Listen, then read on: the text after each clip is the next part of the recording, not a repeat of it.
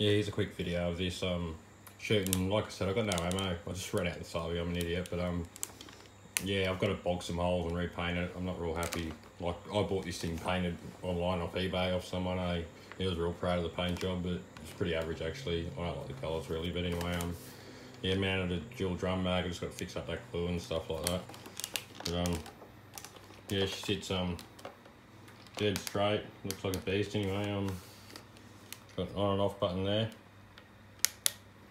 So obviously, yeah, turn her on. Got a mag primer. Primes both of them. They both run into like two separate tubes, obviously. I'm holding it with my left hand, but obviously I shoot.